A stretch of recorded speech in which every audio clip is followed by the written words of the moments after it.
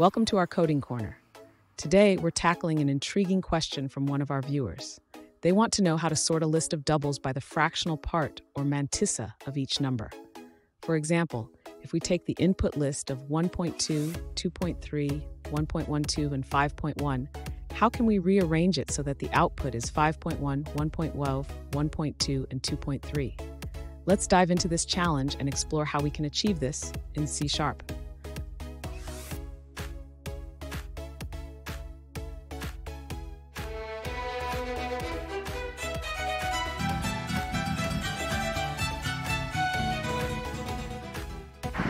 Alright guys, welcome back to another tech video. Today we're going to be going through your question, answering it, and hopefully finding that solution for you.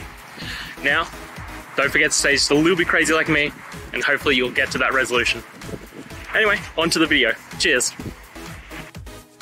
To sort a list of doubles by their fractional part, we first need to understand how to extract the fractional part from each double.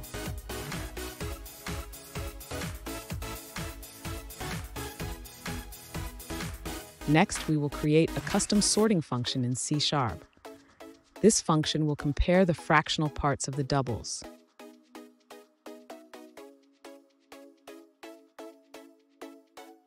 In this code, we use the sort method on our list. The lambda function calculates the fractional part by subtracting the floor value from the original number.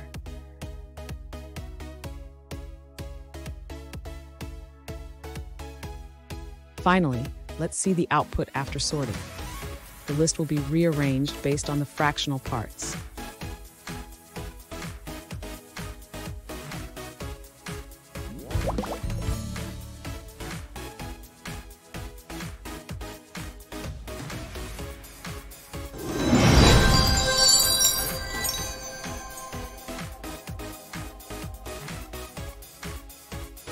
Let's now look at a user-suggested answer.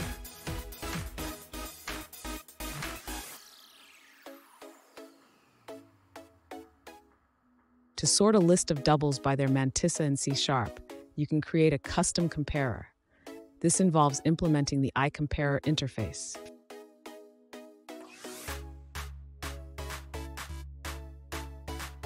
After defining your comparer, you can sort your list by calling the sort method with your custom comparer instance.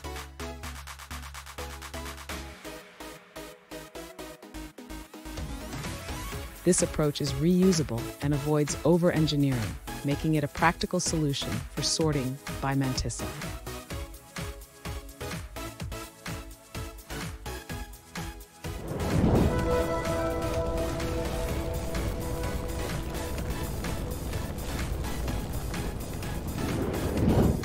Let's now look at another user-suggested answer.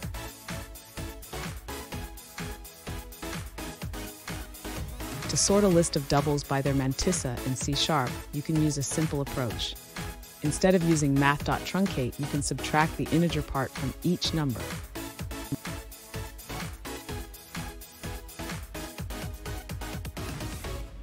Finally, you can display the sorted list by joining the elements into a string.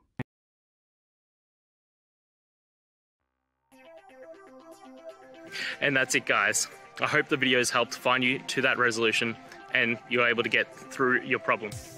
If it did, guys, please hit subscribe. I really appreciate it. It does help me out. And until next time, have a good one.